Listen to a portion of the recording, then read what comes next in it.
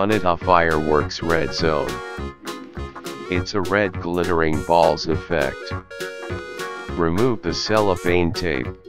Open the cover to take a piece. Remove the piece cover.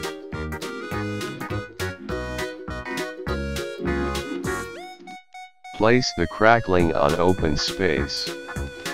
Light the fuse with sparklers and get away.